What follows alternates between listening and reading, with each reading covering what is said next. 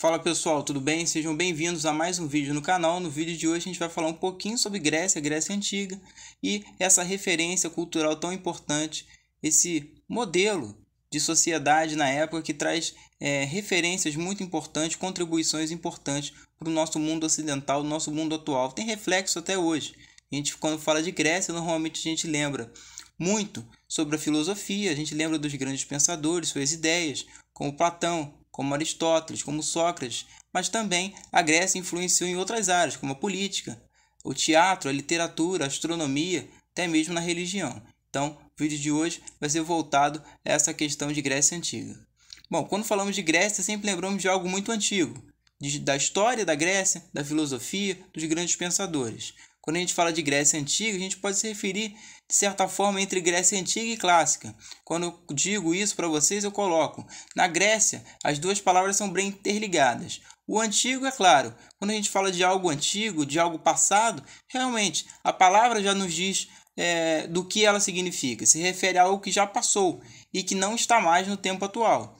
Já o clássico é algo que se mantém, se perpetua, se torna uma referência, se torna um modelo, se torna algo que não é esquecido, porque se tornou clássico. Como eu coloquei aqui para vocês, se refere àquilo que permanece como referência. E a cultura grega, principalmente, ela se torna uma referência, se torna um modelo é, quando a gente fala sobre Grécia Antiga em geral e os reflexos das suas contribuições ao longo dos anos, até mesmo nas sociedades atuais. A gente tem grandes reflexos.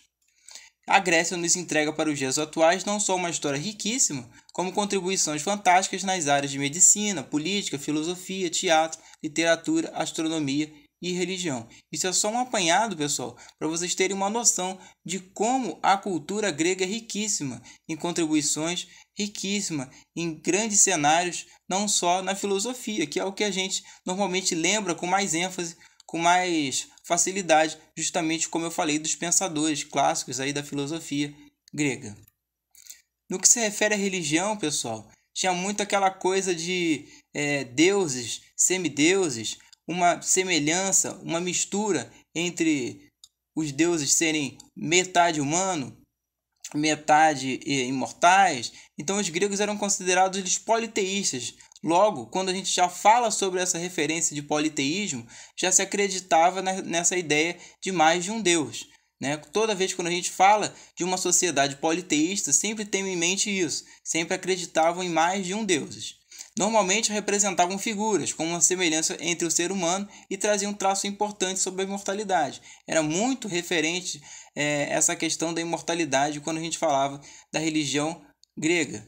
Eu coloquei alguns exemplos aqui para vocês, como Zeus, Poseidon e Afrodite, e vou passar para vocês no próximo slide, aqui já um quadro com, digamos assim, os principais deuses, ou os, mais conhecidos, aqueles que a gente tem mais é, proximidade de estar tá lendo em algum canto, seja na internet, seja um livro, alguma coisa.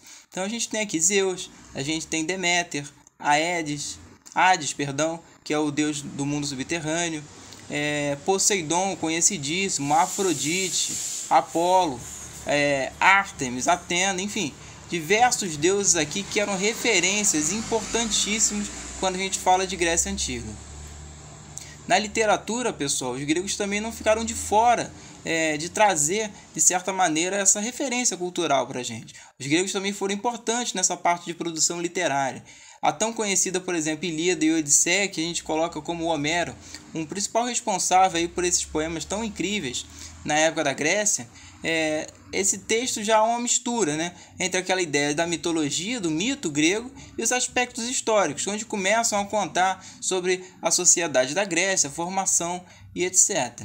Então, não só na religião, como também na literatura, traz importantes referências, importantes questões culturais, importantes questões da sociedade grega já num tempo muito antigo. Então, para vocês terem uma noção como é, a Grécia em si tem uma cultura muito rica.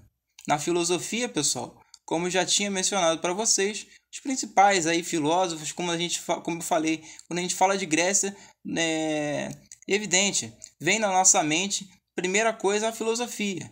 As, as ideias, os pensadores, o que eles falavam, o que eles pensavam, como eles interpretavam o mundo, enfim. Na filosofia não foi diferente. quando se refere de Grécia Antiga. Na filosofia, há um grande destaque para a Grécia.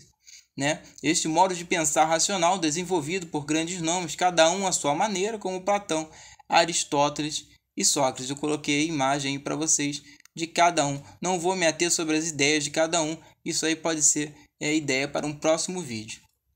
No que se refere ao alfabeto, é, não menos importante, também na Grécia é, se desenvolveu o alfabeto que tinha como base né, a escrita dos fenícios e era composto por 24 letras. Você pode reparar na imagem, pessoal, por exemplo, alfa, beta, gama, até mesmo delta, muitas das vezes são usadas até na matemática, né? Então você vai vendo que é, as questões culturais que são bem antigas, são bem é, de tempos bastante antigos, são utilizados até hoje. Então trazem esse traço marcante de uma referência. Por isso que eu falei do, da questão do clássico para vocês, aquilo que se mantém como modelo. Então, para você ver como a questão da cultural da Grécia, ela se perpetua e se desenvolve até mesmo no mundo de hoje com algumas referências que se mantêm, como eu disse, como algo clássico. Então, no alfabeto, na religião, na filosofia, na medicina, enfim, tudo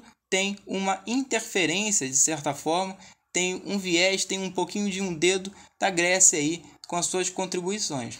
Tá certo, pessoal? Bom, se você gostou desse vídeo, pode deixar seu like, se inscreva no canal, pode comentar também e aguardo você num próximo vídeo, tá certo? Muito obrigado, você assistiu até aqui e até a próxima. Valeu!